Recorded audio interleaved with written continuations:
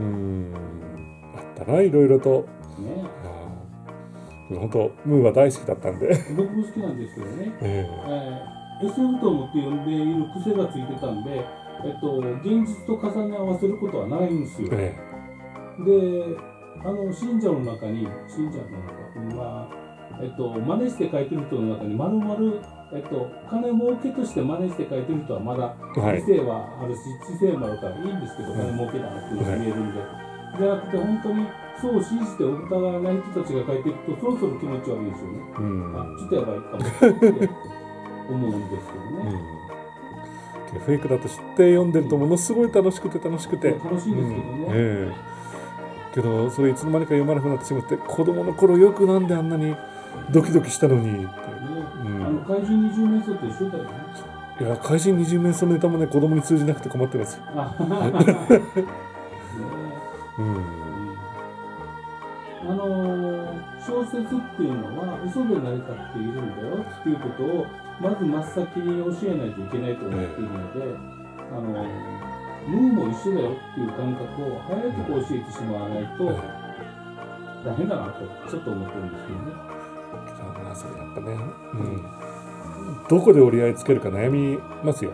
あいや、僕、ここはちょっとあの悩みどころではなくて、えっと、サンタさんはいるんだよって教え込んでる子供に対しては、はい。じゃあサンタさんもいないのって言ったら、はいって言える。この時はどちらが重たいかっていうと、フェイクを見抜く力を養う方が僕にとっては重要なんで、はいって言う。でも、あーなんだろう、えー小さい間に、えーサンタさんがね、これ持ってきてくれたよっていうのはやっぱり準備するし、そういう言い方はするんだけどね。じゃあ、うんおじいちゃん嘘ついてたんだったら、はいって言う。うわー悩んだのはうん。うんあの三国志の小説？うん。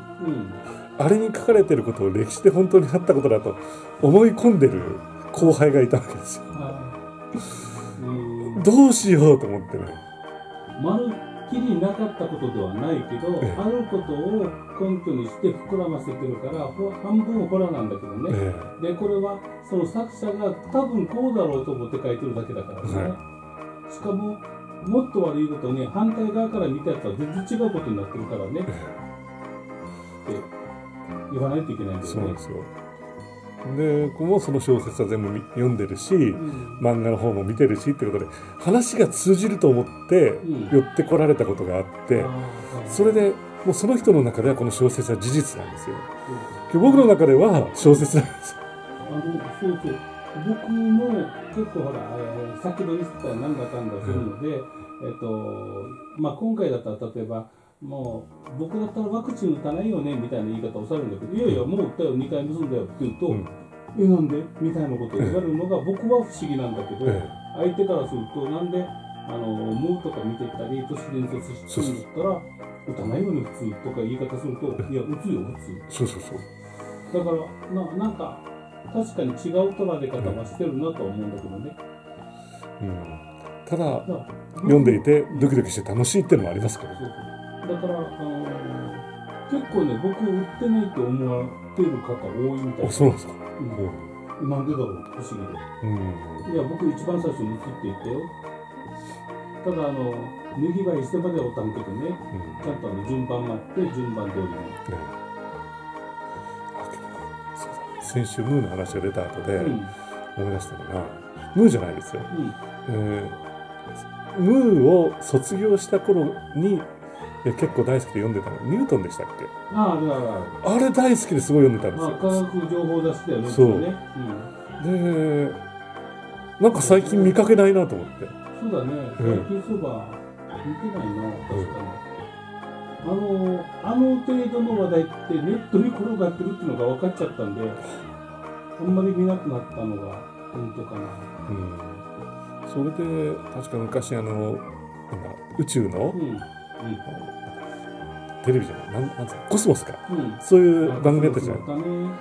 あれは結構子供の時に見たんですけど、んうん結構衝撃的にあっちこっちの場面を覚えてるわけですよ。うん。でそういうのをねうちの子供にも見せたいなと思って、うん。うん、DVD ないのかなって探したりして。あ、この間ね、えっと、先週の話の中から、ああそういえば火の鳥って最初どうだったそんだろうってちょっと思って、はい。えー、アマゾンプライムで調べたらあったんではい。同じく。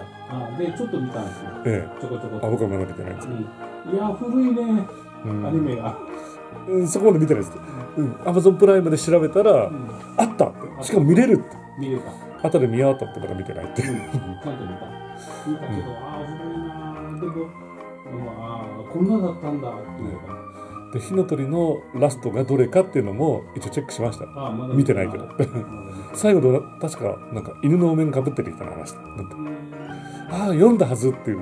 でもね、見た記憶が確かにあって、うんあの場面場面で、ああ、ここされた人がね、あの、鉢にか刺されてか鼻がでかくなんで、あれからこう、あの博士みたいな鼻になるんだよっていうのを、なる前から言ってる自分が怖かった。うん覚えてるわ。覚えてる。で、ここはそれのサルタヒコの実写映画のやつ覚えてるんですよし、うんええもうね、弓でいっぱい刺されて、それでも立ってるっていう。ねええなんて覚えてるんだろう。なんで覚えてるの？それだけやっぱね、印象強かったんですね。うん。うん。だからやっぱり探してきて、火の鳥も子供に見せたいっていうか、見せたい。うんあの僕自分があの経験してきたとか見てきたことを全部子供とか孫に見せようっていう根性がないんだよね。あのあれは僕の思い出なんで、えーあこっちはこっちでまた新しくなるほど。その時代にあったものを見ていくんだろうとかっていうのを思ってるんで、いややっぱねそれ残したいし見せたいなと思うんですけどね。ただあの、うんハリー・ポッターとかあの辺の DVD とかブルーレイはちゃんと置いてあるんで、はその辺は見せたいと思ってるんだろうな。あ矛盾するね俺もね今度。い。それけどね、それに興味を持ってくれないのがちょっと悲しかったりするんですね。まあね、うんいやでも時代が違うからしょうがないよ。そう。年齢も違うし。ええ僕が小学校上がる前ぐらいにはもうヤマト見てたんですよ。うん。う。ちの子は全然興味示してくれないん。ですよ。リメイクされてるから見ようって言っても。うん。まあそうだねう。ん。あ、そん。なこと言ってる間に時間が来ました。そうなん。だ。うん。さて、今日ラストの曲は何にしましょう沖縄時間から。はい。好きなものを。そろそろね、月が綺麗から、月の会社とかね。あ、依頼付きを。あ、はい。じゃあ、それ今回はお別れいたします。はいというわけで、えー使い方が今死んでてこなかったけど。はい。えーじゃあまた来週7時からよろしくお願いします。番号大丈夫一応、あ、大丈夫です。はい。